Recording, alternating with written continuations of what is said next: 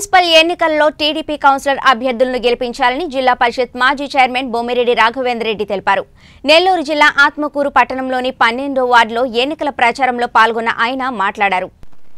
జిల్లా పరిషత్ మాజీ చైర్మన్ బొమ్మిరెడ్డి రాఘవేంద్రరెడ్డి ఆత్మకూరు పట్టణంలోని పన్నెండవ టీడీపీ కౌన్సిలర్ అభ్యర్థిని నాగభూషణమ్మను గెలిపించాలని ఎన్నికల ప్రచారంలో పాల్గొన్నారు. ఈ సందర్భంగా ఆయన మాట్లాడుతూ టీడీపీ ప్రభుత్వ హయాంలో ఆత్మకూరు పట్టణం ఎంతో అభివృద్ధి చేశామని తెలిపారు.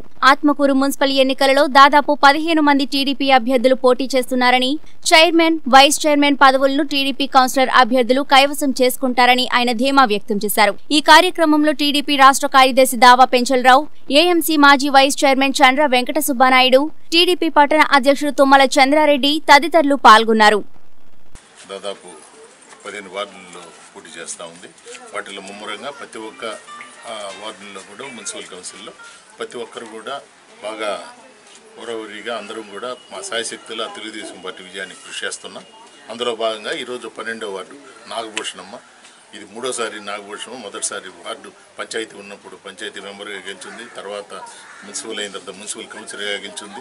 ఇది మూడోసారి మళ్ళీ వేస్తుంది. తప్పకుండా పన్నెండో వార్డులో నాగభూషణం గెలుపు నల్లేరు మీద నడక దాంట్లో ఎలాంటి సందేహం లేదు. అట్లే తప్పకుండా ఇటు చైర్మన్ మున్సిపల్ చైర్మన్ అయితేనేమి వైస్ చైర్మన్ అయితేనేమి తప్పకుండా తెలుగుదేశం కైవసం చేసుకుంటుందని మా ధీమాగా వ్యక్తం చేస్తున్నాం. తప్పకుండా ప్రతి ఒక్కరు కూడా ఈ ఎలక్షన్లో ఎందు ఎందువల్లంటే ఇప్పుడు ఈ గత తెలుగుదేశం ప్రభుత్వంలో ఆత్మకూరు ఎంతో అభివృద్ధి చెందింది. ఏ రోడ్లు పెట్టినా ఎక్కడ పోయినా టౌన్లో ఏ సందులు మందులో పోయినా కానీ సిమెంట్ రోడ్లతో మొత్తం కంప్లీట్ చేసిన ఘన ఘనత వచ్చి ఒక తెలుగుదేశం ప్రభుత్వం ఉంది. అట్లే వచ్చి వాటర్ ఫెసిలిటీ అయితేనేమి ఇల్లు కట్టడం అయితేనేమి టాయిలెట్స్ అయితేనేమి అన్నీ కూడా ఆత్మకూరు టౌన్ ఎంతో అభివృద్ధి చెంది గత ఐదు సంవత్సరాల్లో.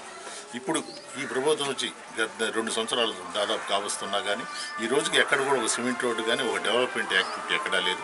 అట్లే ఆస్తి పన్ను కూడా చాలా పెరిగిపోయింది మున్సిపల్ అయిన తర్వాత. గత ఆరు నెలల్లో ఎన్నో ఆందోళన కార్యక్రమాలు కూడా టౌన్లో చేయడం జరిగింది. ఎట్టి పరిస్థితుల్లో మా మేనిఫెస్టోలో కూడా చెప్పున్నారు. మా తెలుగుదేశం ప్రభుత్వం ఈసారి ఓటేస్తే తప్పకుండా మున్సిపల్ కూర్చున్న తర్వాత మొట్టమొదటి సమావేశంలోనే ప్రతి ఒక్క హౌస్కి కూడా హౌస్ ట్యాక్స్ తక్కువ చేస్తామని హామీ ఇవ్వడం జరుగుతుంది.